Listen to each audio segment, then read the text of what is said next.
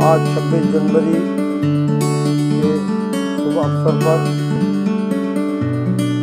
कस्बे वासियों को, देशवासियों को मेरी तरफ़ से बहुत बहुत शुभकामनाएँ। आज के दिन संविधान लिखा गया था, लिखने वाले हमारे भीमराव अंबेडकर जी ने ऐसा संविधान लिखा कि जो आज तक सारे बिरादरी के लोगों को इससे लाभ मिलता है।